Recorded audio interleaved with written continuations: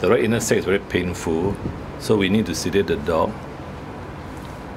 in order to express the sac, the oil glands, the oil. And uh, as you can see, it's really inflamed. Now, I can I can check the oil glands. Now normally express at uh, 4 o'clock and 8 o'clock. The position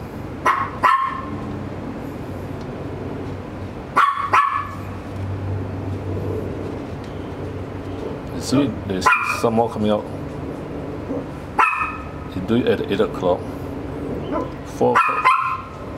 4 o'clock is okay. So, the left one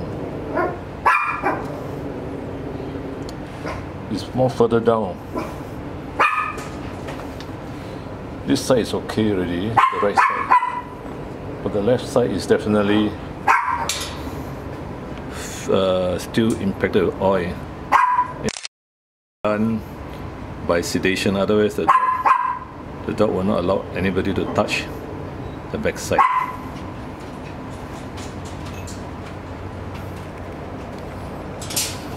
Let me check whether the right side still has or not. Now you can feel that there is no swelling here. So the right side should be should be okay. Now I will get some tissue to clear off the oil first.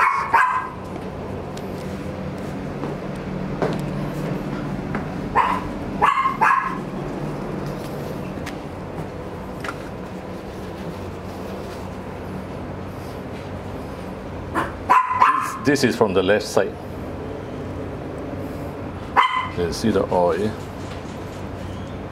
The left side is not inflamed, it's the right side. The right side causing the the itchiness and the pain. So check again. Now you can obviously you cannot do it when the dog, dog is awake, yeah. Because it's quite painful.